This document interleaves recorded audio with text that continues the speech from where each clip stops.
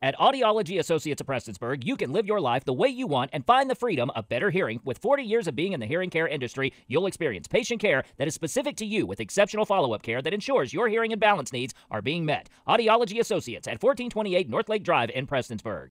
On Wednesday, March 15th, the Southeast Kentucky Chamber of Commerce hosted their coffee and conversation event. Members of the community gather for coffee, donuts, and a good time.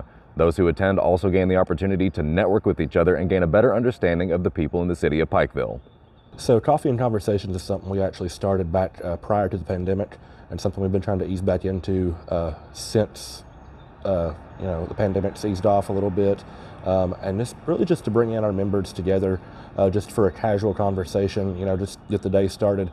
A lot of our local businesses, you know, won't open up till 9 or 10 o'clock. So, you know, get them in here, you know, get a coffee and a donut, get to network with other people in the business community, you know, just to see what's going on. You know, we had folks from SOAR here today, um, the Big Sandy Area Development District, just kind of, you know, see what's going on in our region um, and seeing where we're at all together. Coffee and conversation is also a method of welcoming new chamber members. Chamber members and partners alike can expect a relaxing environment. Uh, yeah, this is really a low pressure event. You know, um, as you could see in there, you know, it's just laid back, sitting, drinking a cup of coffee. You know, a lot of people, they join a new organization, uh, they do feel a little bit of pressure, and we don't want that. Uh, we want everyone to feel welcome and feel relaxed whenever, especially they're inside the Chamber of Commerce's walls. I mean, we're a place for businesses to grow and to feel comfortable and to be able to come to us if they need something.